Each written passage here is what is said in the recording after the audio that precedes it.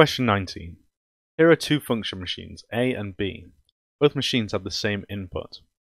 Work out the range of input values for which the output of A is less than the output of B. So there's a few things in the, this question which signify where we should go. We're working out a range of input values, and we're thinking about something being less than something. That's that's suggesting that we'll use an inequality.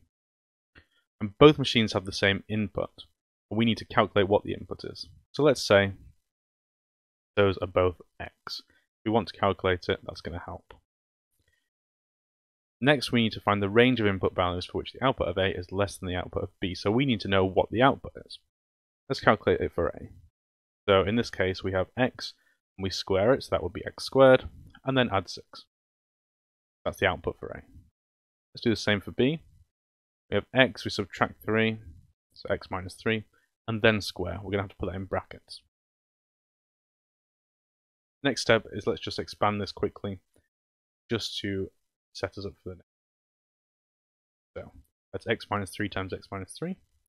We have x times x is x squared, x times minus 3, 3x, minus 3 times x is another minus 3x, and minus 3 times minus 3 is positive.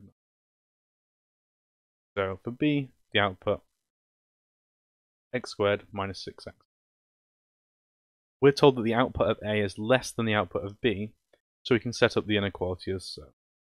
so x squared plus 6 is the output for A, less than the output for B, x squared minus 6x plus 9. Our next step, we can cancel out the x squared on both sides. That's positive, it's not going to mess around with our inequality. And then we'll have 6 is less than minus 6x plus 9. So we need to do a little bit of rearrangement. Let's uh, put the 6 onto this side and the minus 6x onto this side. So we'll be left with 6x is less than 3. And then we can divide by 6, so we have x is less than 3 over 6, which is a half. And that's our answer, the range of inputs for which A is less than the output of